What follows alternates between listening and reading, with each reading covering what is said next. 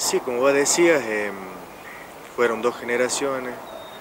Eh, tuve la suerte de estar en la, en la primera generación junto a Paco, a Freddy, bueno, los demás muchachos, el último tramito. Y después em, decidimos armar la máquina que actualmente estaba.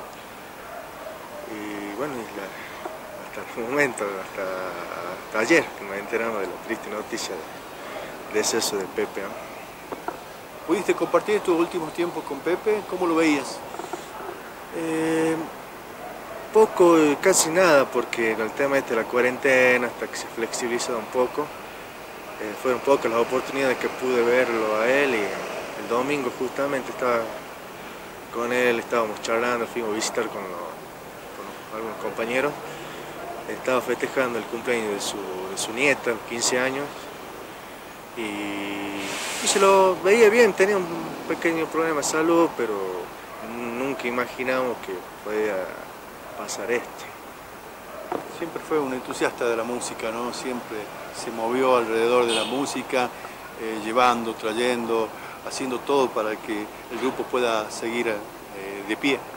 Sí, le encantaba lo que era el tema de sonido, el tema de, de la música, teniendo esos detalles de, para que todo salga bien, ¿no? Eh, eh, el escenario, manejaba mucho el tema de las redes sociales, eh, como para que la gente se informara también en ese sentido, ¿no? Me imagino que anécdotas debe haber miles, sobre todo en aquellos viajes que solían hacer hacia otros departamentos a tocar.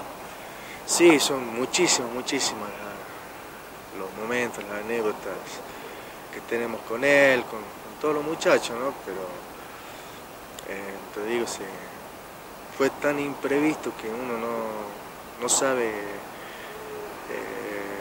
no lo supo aprovechar ni hasta el último momento, como te digo, ni se lo imaginaba uno.